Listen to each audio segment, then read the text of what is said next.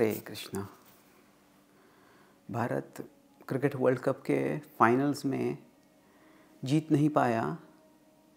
इसके बारे में हम भगवदगीता की दृष्टि से जो देखना है तो तीन दृष्टि से देख सकते हैं। फैक्टर्स फैक्ट्स और फोर्टिट्यूड फैक्टर्स भगवदगीता में भगवान बताते हैं कि कोई भी कार्य का यश या अपयश होता है वो पाँच चीज़ों पे निर्भर होता है। अठारहवें अध्याय के चौदहवें श्लोक में बताते हैं वे, अधिष्ठानम तथा कर्ता करणम च पृथक विधा, विविधाश्च पृथक चेष्टा दैवम चैवात्र पंचमम। यहाँ पे अधिष्ठा अधिष्ठा मतलब कि जिस जगह पे कार्य हो रहा है द प्लेस ऑफ़ एक्शन तो ये क्रिकेट में हम कह सकते हैं कि क्रिकेट का पिच हो सकता है। फिर कर्ता, जो प्लेयर्स है, कर्णम च पृथक विदा अभी क्रिकेट में या हर कार्य में कुछ ना कुछ तो भी जो औज़ार होते हैं, टूल्स होते हैं, वो महत्वपूर्ण होते हैं। तो क्रिकेट में बैट्समैन के आर्म्स कैसे है हाँ बल्ले बल्ला कैसे है, पैर कैसे है, आँखें कैसे हैं, यह महत्वपूर्ण होता है। हर कार्य में कुछ कुछ टूल्स महत्वपूर्ण होते हैं। सर्जन के लिए अपना हाथ महत्वपूर्ण होता है। किसी और के लिए कोई और महत्वपूर्ण होता है। पर ये टूल्स, जो फिटनेस हम कहते हैं शारीरिक स्तर पे वो होता है वो। फिर उसके परे कर्णम च विविधाश्च पृथक चेष्टा जो चेष्टा है जो प्रयास है ये प्रैक्टिस हो सकता है कि किया गया है जिससे कि टैलेंट होता है वो अचीवमेंट परिवर्तित हो सकता है वो टेम्परामेंट हो सकता है कि जब परिस, कठिन परिस्थिति आती है तब कैसे व्यक्ति शांत रह कर खेलता है। वह प्रेजेंस ऑफ़ माइंड हो सकता है कि उस परिस्थिति में अच्छी योजना बनाना अच्छा विचार करना और फिर उसके परे भगवान कहते हैं, दैवम चैवात्र पंचमम। दैव जो है, पांचवी परिस्थिति है, पांचवा फैक्टर है। तो अभी अगर हम ये क्रिकेट फाइनल के बारे में विश्लेषण करते हैं तो हम देखते हैं कि जो पिच था, वो अधिष्ठा के समान है। तो वो भारत में मैच हो रहा था तो भारत के लिए अनुकूल होने की अपेक्षा थी। होम टेरिटरी का एडवांटेज था भारत के लिए। पर दुर्भाग्यवश, जो पिच था, वो बहुत स्लो था और उस पर खेलना, पहले हाफ़ में तो काफ़ी मुश्किल था, दूसरे हाफ़ में थोड़ा और आसान हो गया खेलना। उसके कारण जो बैट्समैन अच्छी तरह से बैटिंग नहीं कर पाए, उनके प्रयास के बावजूद। तो अभी ये जो है, भगवान कहते हैं कि इसमें इन पाँचों फैक्टर्स में से जो चार है, वो एक तरह से हमारे नियंत्रण में नहीं है। कह सकते हैं कर्ता नियंत्रण में है, वो अपने फिटनेस रख सकते हैं, थोड़ा कुछ हद तक नियंत्रण में है। किस प्रकार से एंडेवर कर रहे हैं, चेष्टा कर रहे हैं वो कुछ हद तक हमारे नियंत्रण पे है। पर जो पहला और पांचवा है, जो अधिष्ठा है और दैव है, अधिष्ठान और दैव है, वह हमारे नियंत्रण में नहीं है। तो अभी दैव की दृष्टि से यदि हम देखते हैं तो अभी जब क्रिकेट में कुछ प्लान्स बनाते हैं तो कुछ प्लान्स काम करते हैं, कुछ प्लान्स नहीं काम करते हैं। तो जो रिस्क लेना पड़ा, वो पिच अच्छा इतना अच्छा नहीं था। तो हर इंडियन बैट्समैन जो रिस्क लिया, वो चला नहीं। हर बार रिस्क लेने गए वो आउट हो गए पर ऑस्ट्रेलियन बैट्समैन ने जो रिस्क लिया वो इट वर्क आउट वो चल गया।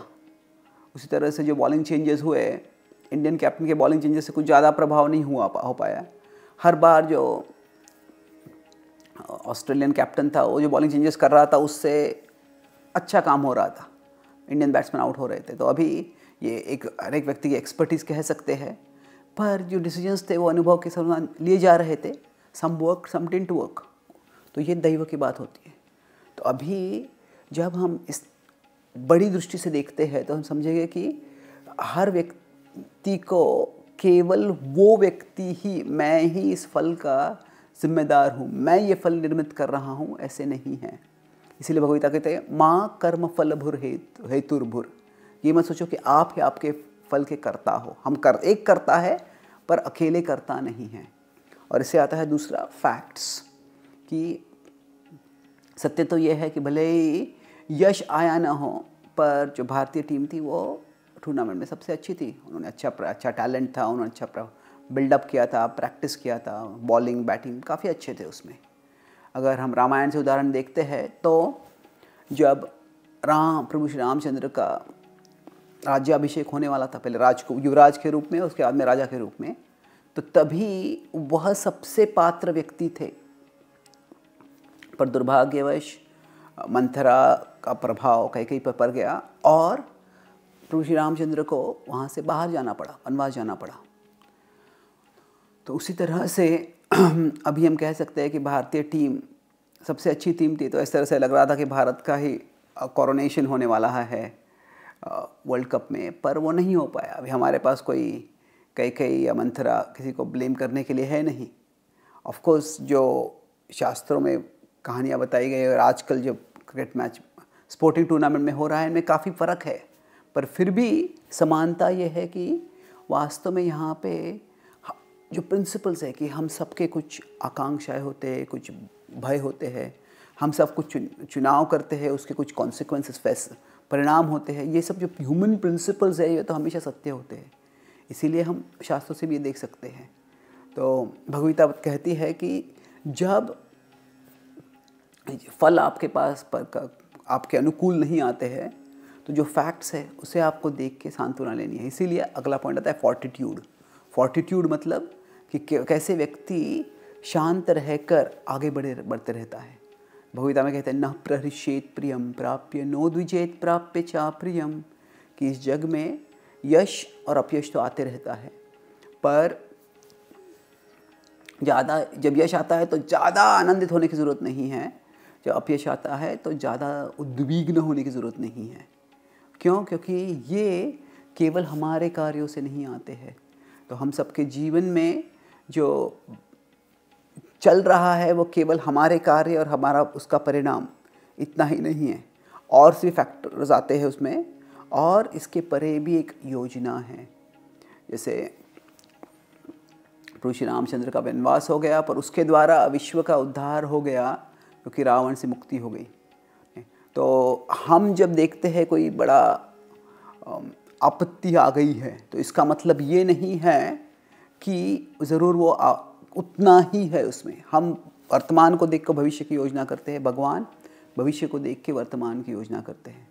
तो इसीलिए ज़्यादा हताश होने की जगह पे अगर हम कार्यरत रहते हैं तो हम देखेंगे कि जो the present will lead to a brighter future कि वर्तमान से एक बड़ी योजना जो है, वो क्या है अभी हमें समझ में नहीं आएगा शायद।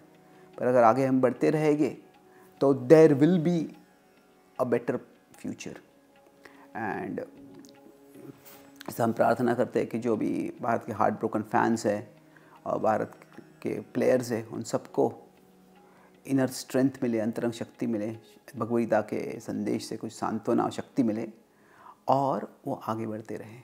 हरे कृष्णा।